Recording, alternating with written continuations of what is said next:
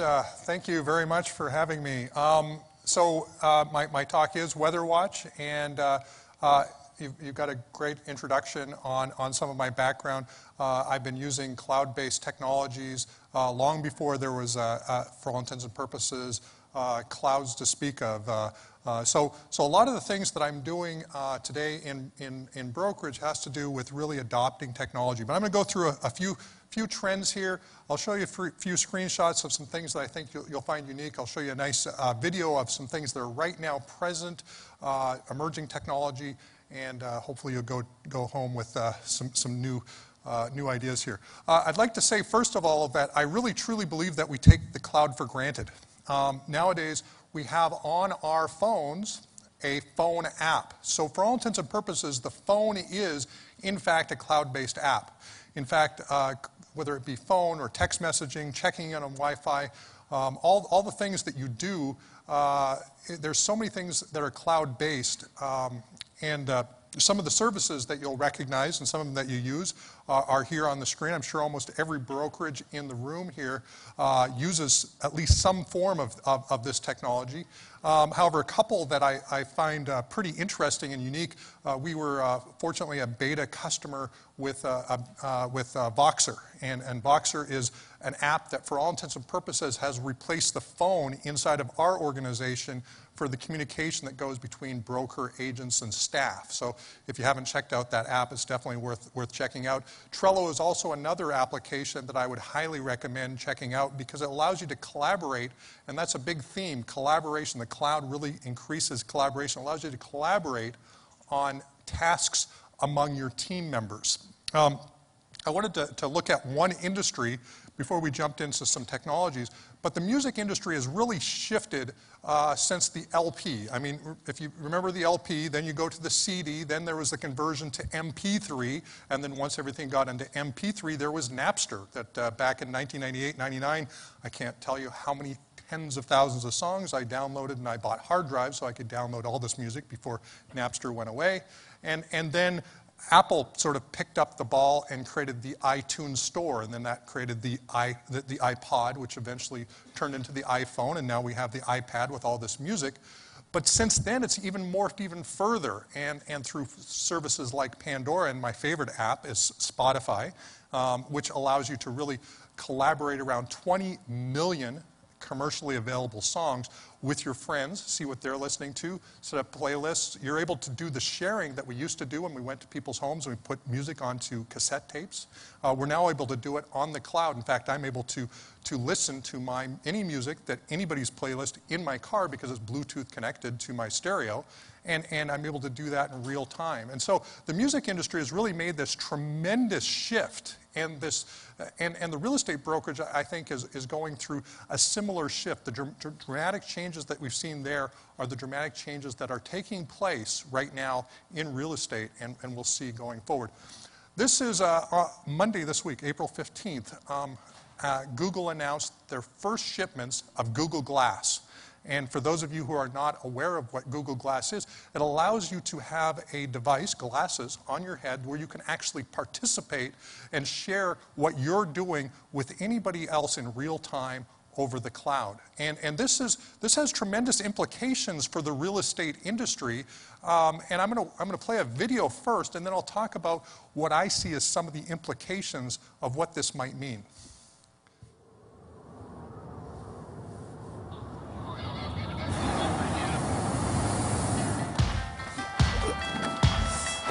Okay, Glass, record a video. We're on in two minutes. Okay, Glass, hang out with the Flying Club. Google photos of tiger heads. Hmm. You ready? You ready? Right there. Okay, Glass, take a picture.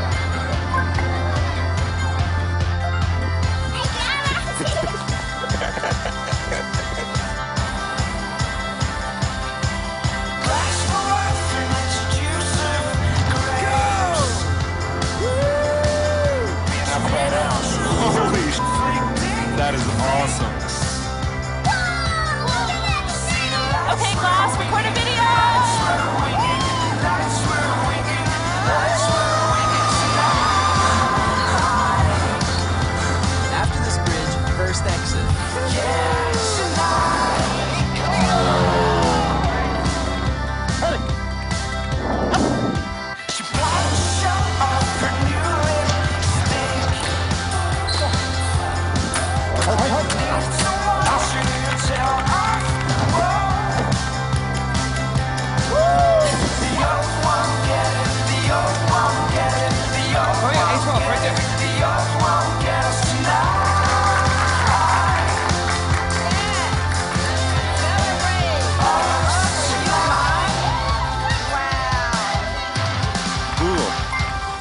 Stay delicious in Thai.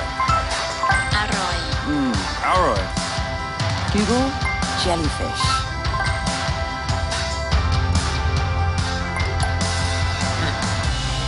Well, let's see.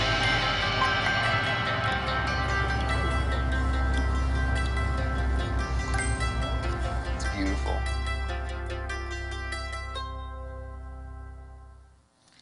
So if you haven't seen that video yet, and hopefully some of you have not, we're about to experience this uh, here in the next weeks and months uh, as these start to arrive onto shelves and uh, in, into developers' hands first, and then, and, then, and then eventually consumers' hands.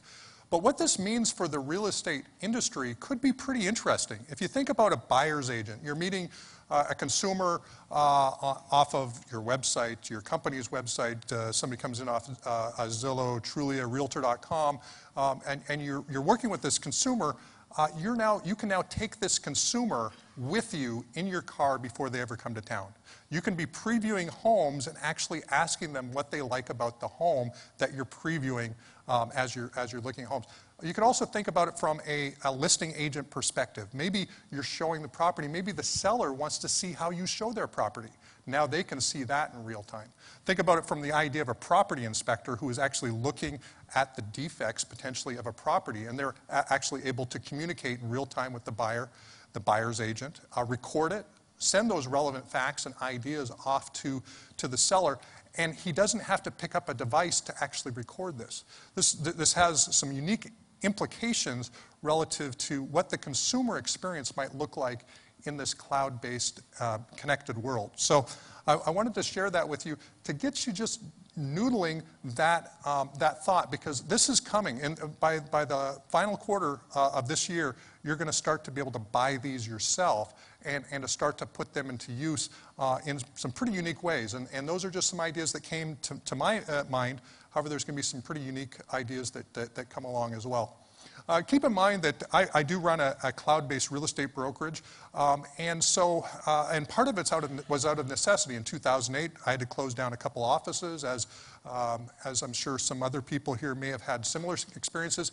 And we had to we, we decided we were going to go completely on the cloud because financially it was the only thing that made sense in, in sort of that that uh, late late part of 2008 into 2009 and and the big piece that we were trying to solve was how do we do collaboration? And, and we'll, we hear, we hear a lot about the cloud and, and collabor- collaboration. And, and, and, you'll see here in the background, uh, we, have got a Google Hangout going on back there. Um, these, these, other, these other ideas that are up on the screen, these are, uh, some of you might recognize Second Life. And, and in early 2000s, Second Life was kind of this, uh, uh, this neat place, a social network where you could go as avatars and start to have conversations with people.